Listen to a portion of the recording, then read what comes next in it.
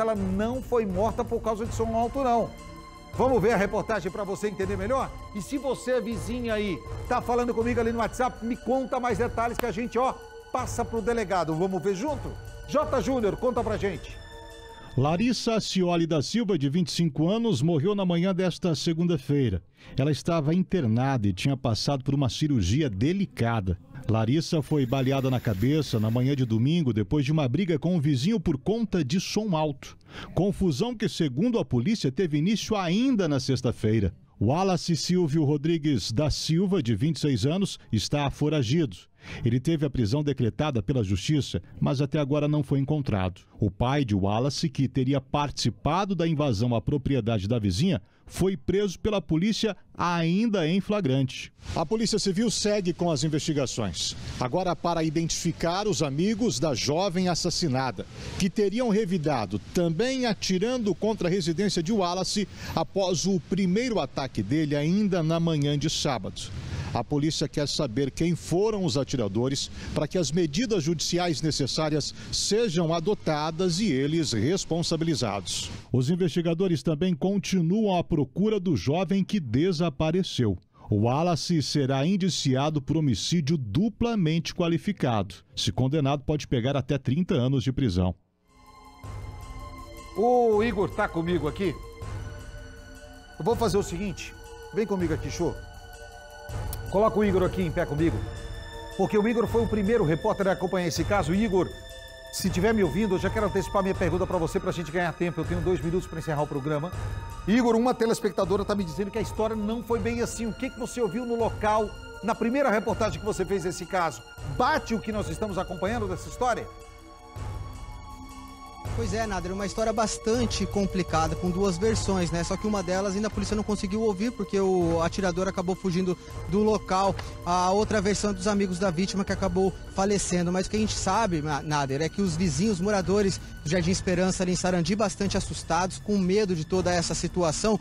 Uma briga entre vizinhos até então, né? Essas são as primeiras informações. A Polícia Militar, a Polícia Civil em cima do caso, ainda em busca desse atirador, mas tudo teria começado mesmo pelo som por uma discussão que poderia ser prevenida com apenas uma ligação para a Polícia Militar, que essa é a orientação, né? Ligue para a Polícia Militar, vai até o local, deixe que a polícia resolva. Mas não, os dois vizinhos então teriam, segundo essas informações, é, discutido. Um foi até a casa do, do outro, atirou para o alto. Aí os amigos da vítima teriam é, ficado bravos, foram depois até a casa desse atirador, efetuaram vários disparos. Esse, esse homem estava com os filhos dentro de casa, teria se sentido ameaçado, voltou para a casa da vizinha. Olha que história complicada, né?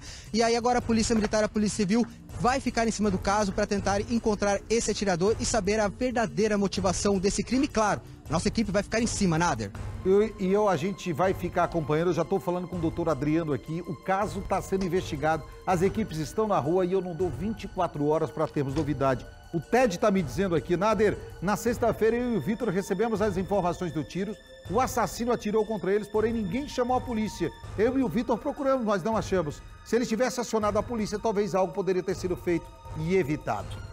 Meu irmão, eu tenho 30 segundinhos, eu quero dizer que pena só uma coisa, que você é vascaíno. Que aqui ela não foi morta por causa de som alto, não.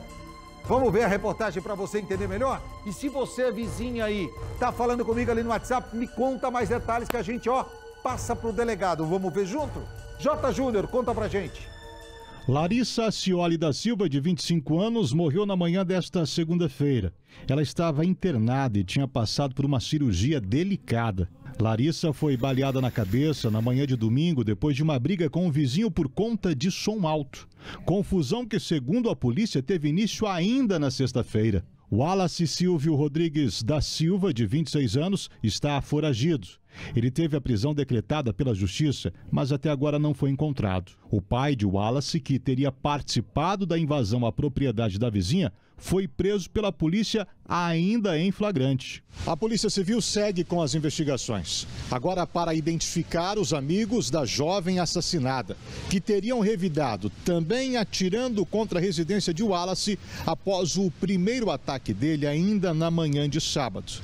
A polícia quer saber quem foram os atiradores para que as medidas judiciais necessárias sejam adotadas e eles responsabilizados. Os investigadores também continuam à procura do jovem que desapareceu. O Wallace será indiciado por homicídio duplamente qualificado. Se condenado, pode pegar até 30 anos de prisão. O Igor tá comigo aqui.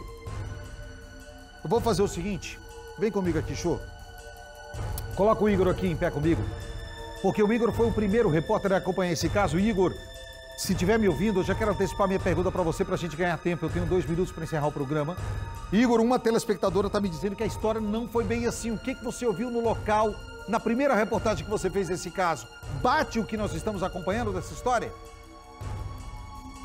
Pois é, Nader, uma história bastante complicada, com duas versões, né? Só que uma delas ainda a polícia não conseguiu ouvir, porque o atirador acabou fugindo do local.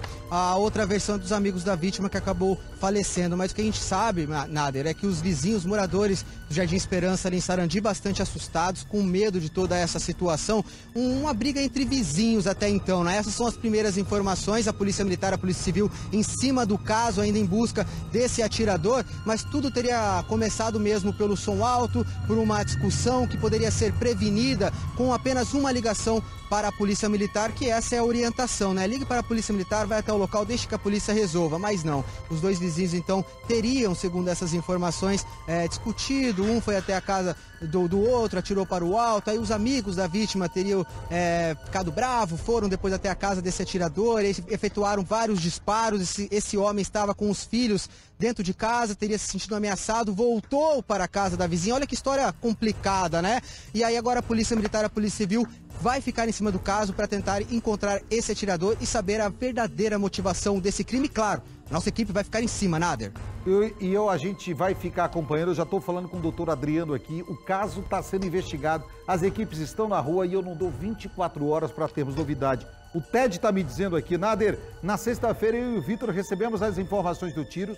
O assassino atirou contra eles, porém ninguém chamou a polícia. Eu e o Vitor procuramos, mas não achamos. Se ele tivesse acionado a polícia, talvez algo poderia ter sido feito e evitado.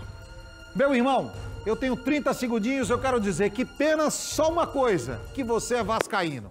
Que aqui é